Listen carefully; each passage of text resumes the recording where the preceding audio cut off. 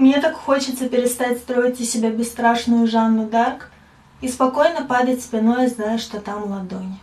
И от бури любой накидывать твой пиджак. И от грома прятаться за твоей спиной.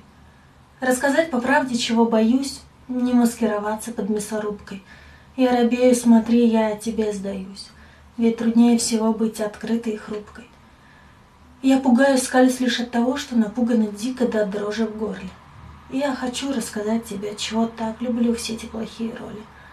И никто не хочет рыдать в подушке, даже эти бойцы-повстанцы.